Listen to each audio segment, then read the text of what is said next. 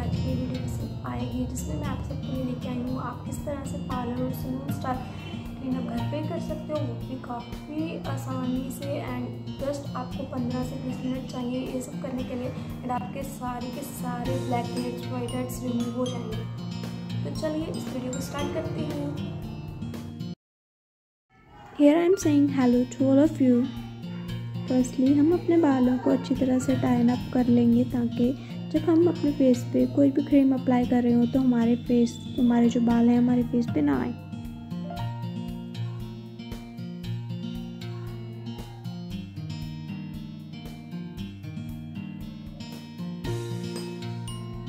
Secondly हम अपने हाथों को अच्छी तरह से वॉश या सैनिटाइज करेंगे।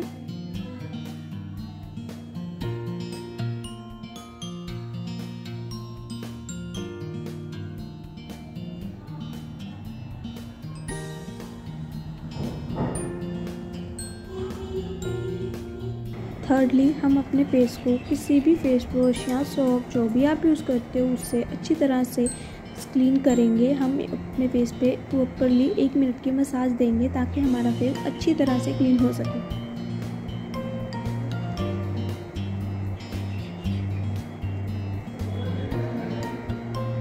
एक मिनट की प्रॉपर मसाज के बाद हम अपने फेस को अच्छी तरह से पानी से साफ़ कर लेंगे और प्रॉपरली ड्राई नहीं करेंगे।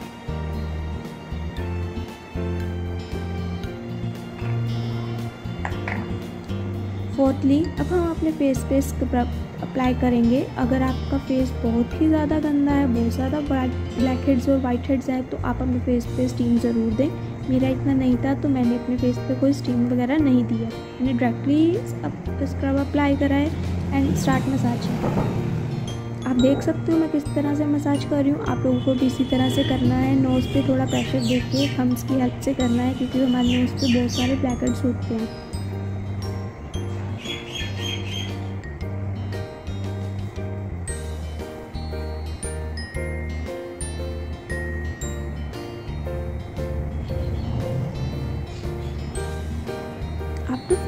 फाइव मिनट्स मसाज में भी आपके डिपेंड करता है, आप अगर सिक्स टू सेवन मिनट्स भी लेना चाहते हैं तो ले सकते हैं बट इससे ज़्यादा ना लें।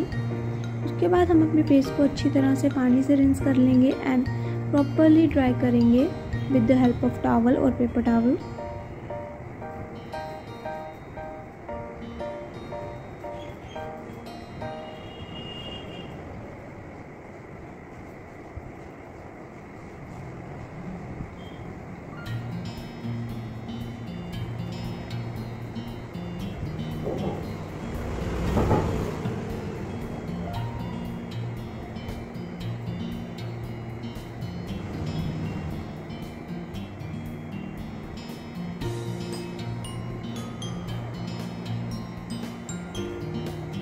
अपने फेस को अच्छी तरह से रिंस करने के बाद मैं यहाँ पे अपने फेस को अच्छी तरह से ड्राई कर रही हूँ with the help of towel इसके बाद मैं अब एक ब्लैक हेड रिमूवर टूल की हेल्प से अपने और सारे के सारे ब्लैक हेड्स और वाइट हेड को रिमूव करूँगी।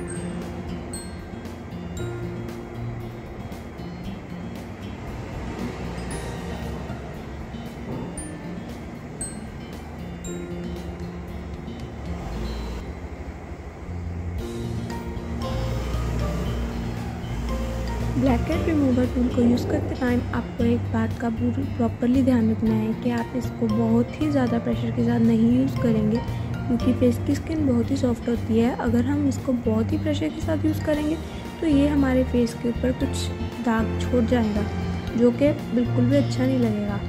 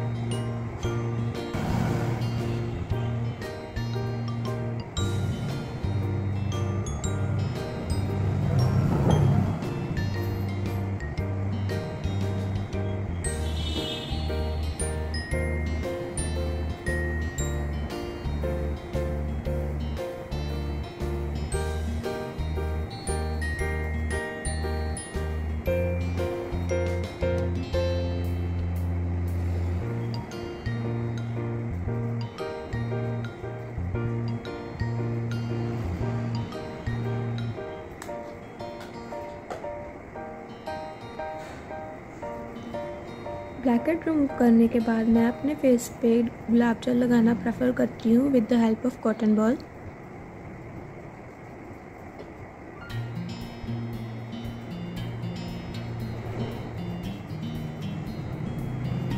फिर हम अपने लास्ट स्टेप की तरफ़ जा रहे हैं, जिसमें कि हम एक D I Y face pack अपने फेस पे अप्लाई करेंगे, जिसके लिए मैंने एक टेबल स्पून बेसन लिया है। जिसमें मैंने गुलाब जल मिक्स किया है।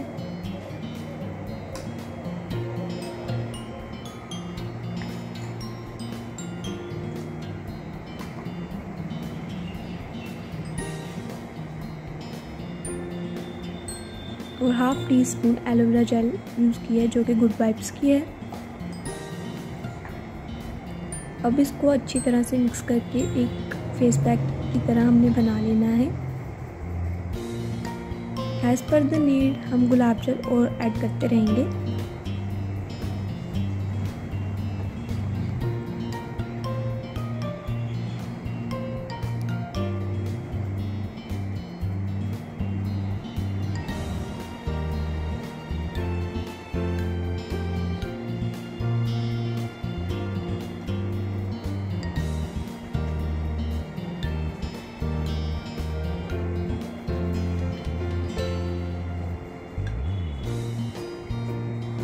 आपको एक बात का हमेशा ध्यान रखना है कि हम फेस पैक को कभी भी डाउनवर्ड डायरेक्शन में नहीं लगाएँगे, जैसे कि मैं यहाँ पे लगा रही हूँ।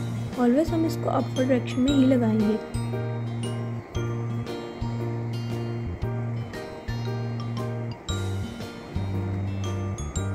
अब हम इसको इवनली अपने पूरे फेस पे लगा लेंगे। और हाँ एक बात हमेशा याद रखिए कि स्क्रब करने के बाद हमें फेस पैक लगाना ज़रूरी है, बहुत ही ज़रूरी है, क्योंकि स्क्रबिंग की वजह से हमारे जो पोर्स है वो ओपन हो जाते हैं और अगर हम ओपन पोर्स को छोड़ देंगे तो उनमें डर्ट वगैरह सब चला जाएगा, जिसकी वजह से आपको पिंपल या एक्ने की प्रॉब्लम शुरू हो सकती है। इसीलिए कभी भी फेस पैक लगाना मत भूलें।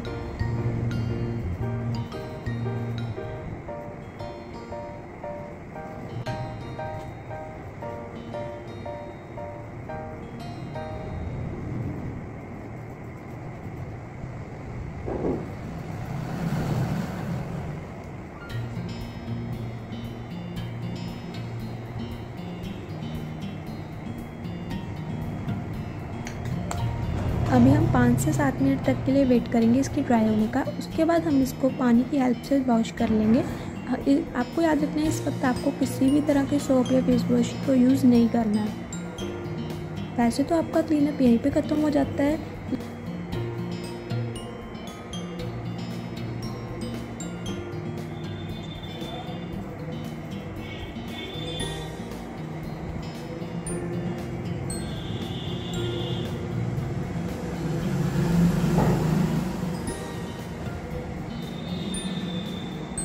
मुझे यहाँ पर अपनी स्किन बहुत ही ड्राई फील हो रही थी इसलिए मैंने अपने फेस पे लैक्मी का मॉइस्चराइज़र लगाना प्रेफर किया है।